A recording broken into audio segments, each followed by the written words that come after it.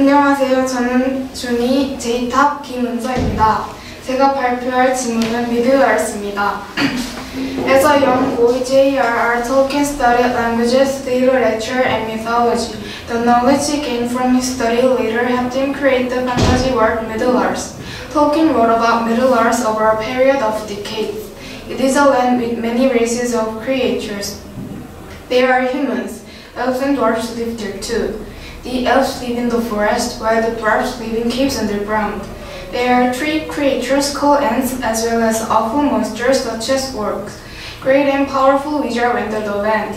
Finally, there are hobbits. They are small, human-like creatures that live in a part of Middle Earth called Shire. Tolkien wrote several books that were based in Middle Earth.